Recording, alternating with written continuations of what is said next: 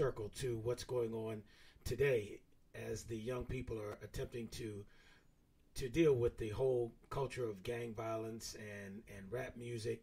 But let me say this before we go. We don't want to give the impression that we are not supportive of of the various types of music. Oh, I love it. Um, music and freedom of expression are amazing. Yes. And and those are the things that allow music to evolve over the years and so Right. forth. So it, it's great to see the energy and and the creativity that's going on.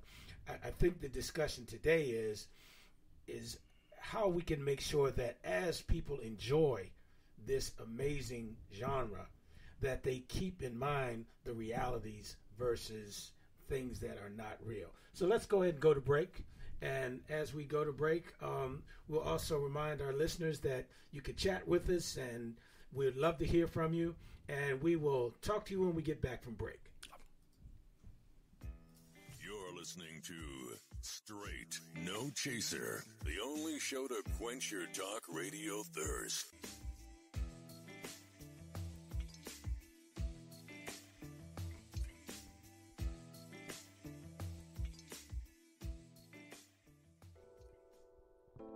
Welcome to the Community Happy Hour, where we will showcase events throughout the country designed to promote friendship, understanding, and community pride.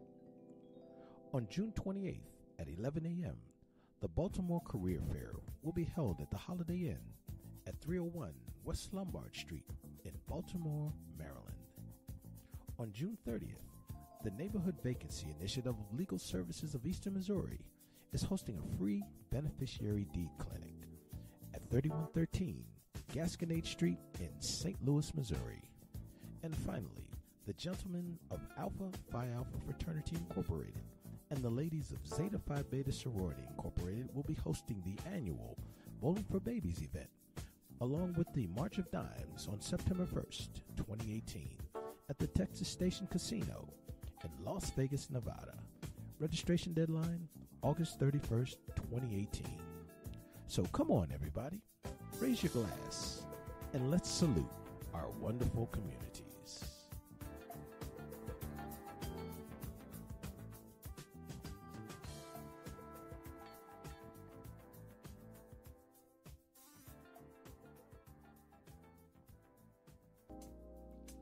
Welcome back to Straight No Chaser. So come on, raise your glass, and let's get back to MBZ, Pastor C, and the Chief.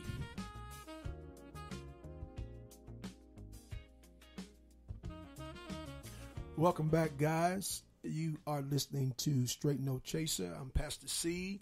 The Chief is with us, and also MBZ. We have started a great conversation about um, rap culture and violence. And I wanted to start this particular segment just sharing a little bit about myself and my upbringing and um, kind of shared some light on how some young men get involved and begin to embrace a very violent mindset. Um, I grew up in the city of Chicago, in the inner city, in the Englewood community. Um, and Englewood was known, or is known even today, um, for its homicide rate. You know, um, I was raised by my mom, and so there was a sense of void in my life. I'm not saying that I didn't have the family that I needed to become the man that I am today. But sometimes you look for validation in other things, in other people, in other uh, organizations. I was a part of the church, but I guess that wasn't sufficient. And so I had friends who were a part of this gang called the Black Peace Stones that used to be the El Rukns. And um, I lived right in between the El Rukns or the Blackstones and the Gangster Disciples. And so I knew everybody because I was an athlete, but I was guilty by association with the black Blackstones. And so I was a part of that. I shook up with them. Um, we, you know, hung out together, did some violent things, and there was a sense of me thinking that I had to prove myself and prove that I belong um, in the organization. So I found myself embracing conduct and behaviors that I was not raised to do. Right.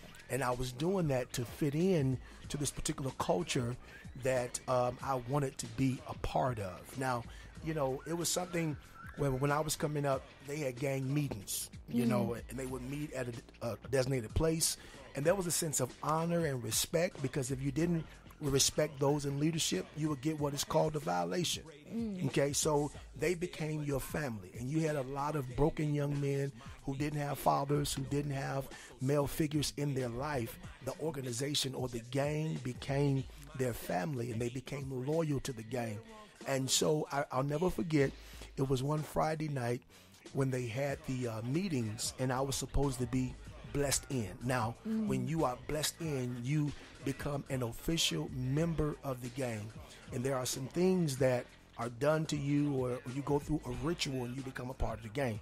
And so I was on my way there, and my mom called me um, because my friend and I had made up in our mind that we were going to do that. My mom called me. She said, "Hey, come in the house." I said, "No, mom, I'm going to the park." She said, "No, you're going to Vacation Bible School." I said, "Oh my God!" So we, we we we had words, but I went to Vacation Bible School, and my friend went, and he got blessed in the gang that particular night. And um, on my way from church, I see the police out there. There was all type of disarray, and there was some things that happened at the park um, where they had the meeting at that my mother told me I could not be a part of and go to. Now, now, I just wanted to start off there because I grew up in that environment, and I did not want to be in that environment. However, you learn how to survive with the hand that you were given. Right. Okay. But I still had dreams and aspirations, academia, and all of those things so that I, I would not be there for the rest of my life. Now, you're talking to a person who grew up in that, who Right. wanted to be out. This generation, you have kids that got both their mother and father at home Yep.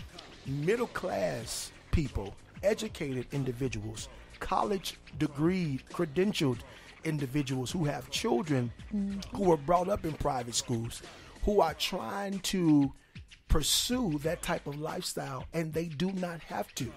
I don't believe that the rap genre or rap music was created to introduce a derogatory way of life Absolutely not. but it has turned into something that is really killing our generation and it is disheartening to see young people who didn't grow up in that Right. who are turning to that and creating an image that really does not exist within them i grew up in the hood in the ghetto all that type of stuff but i am not a product of my environment Chief. Right. So, in essence, Pastor C, you you have not only the academic creds, you have the street cred. I got street cred. You know, they know me around there. You know, they used to call me C Note. You know, 56 and Polina.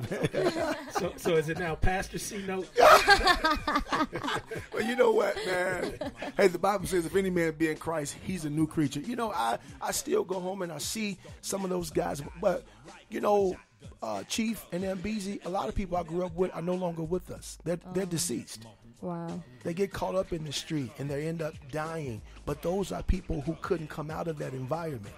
Yep. And so when you see a young man dead in a car because of an image that he's portraying that he doesn't have to live, that's very, very discouraging to me because you have people who are trying to get out of the mindset, out of the lifestyle, out of the environment that they were born into, and then you have some people who are trying to get to where they are.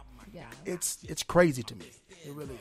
I just think um, what's disappointing about this generation is that it seems like we've kind of lost touch with the ability to see things and be entertained by them without trying to do it. You know, you can go see a movie like Boyz n the Hood and see that whole movie and then go home to your family and have dinner and go to bed. Right. But now it's like it went from doing things like that to now we see it and now we want to do it and I I honestly think that you know it's not really exaggerating when you're saying that our generation is kind of losing touch with reality. Mm-hmm. It's it's a common theme that they talk about all the time. I mean, you have millennials who are either struggling to get through college and pay off their loans and all that stuff, and then you have another group of us that aren't really millennials. It's kind of like the generation under us who are like just they they're completely out of touch. They they get on social media and stuff and they get consumed by it. And I, I think that is the one dangerous thing about social media because you used to be able to tell the difference between entertainment and real. Right. And now it's being all mixed in. Exactly. So it's like how is somebody how is somebody younger? Because you know now six and seven year olds have phones Sure. and you know they they mess around and they get into stuff that they're not supposed to get into but how are we supposed to protect people who are naive and really don't know the difference when they scroll down and they see they see people tweet just like their friends you know? Like you can have a rapper that tweets about a beef that they're in and all that stuff and they might be tweeting that to get their numbers up and for entertainment but you're watching this person tweet just like your friend down the street so you think it's real. Mm-hmm. So it, it's like you know i think that also has a lot to do with it. It's it's just simply losing touch with reality. And, and you know what? And see, for me, I know what it's like to lose a loved one. My little brother got killed on the streets of Chicago. I've, I've had family members die in the game.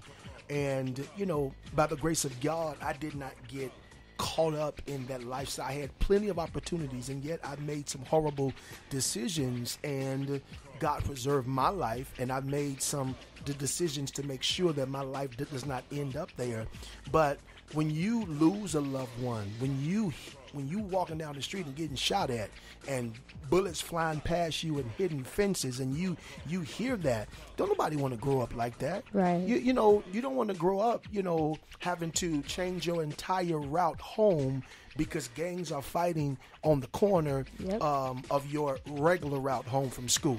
You don't want to grow up like that. And so when I see young people talking this lifestyle and not living it, I'm like, wow. Yeah. Listen, I would love, I would have loved to have your Peel heel lifestyle. I would have loved to go to your private school. I, I would have loved to wear a uniform to school and live in a neighborhood that was very nice.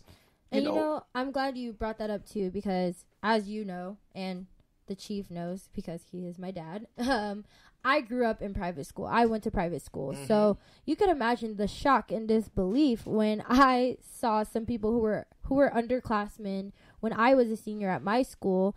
They had graduated and I go on one of their Snapchats and they are like waving guns around and stuff like that. And I'm like, ho ho ho, whoa, whoa, whoa, whoa you live in Summerlin, my guy. Like you live straight in the suburbs and unfortunately one of the guys that they ran around with ended up getting shot right over there on Blue Diamond.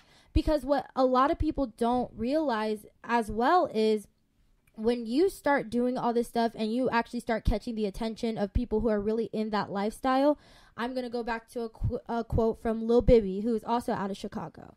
He he talks about in one of his interviews how you know, you can't bring somebody who is not from that background into that background because they want to go home back to their loved ones. The people who really live that life and are running those streets, they don't really expect to live past their 20s. They're they're happy to ride ride for their people at all costs.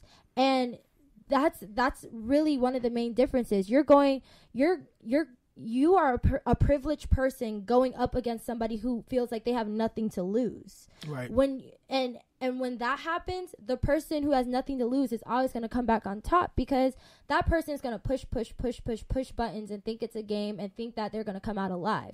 But the but the person that they're going up against is like I seen jail before. I'm I'm not really concerned about it. Like they will take a life. And it it usually takes a life to be taken or something extremely extremely devastating for somebody to get that wake up call like hey this is this is an image and these are the people who really live this life and you don't want to neither do they Well, well, here's my question, and I want to ask you too, Chief. Do you think that these deaths that are happening to these young people, do you think it's causing other young people in your generation to think and and actually not want to be a part of certain activities, or you know, is it like um, instigating something within them to continue and be more hard, if you will, Right. or be more street, if you will. I mean, what is this provoking? Well, on the upside, I think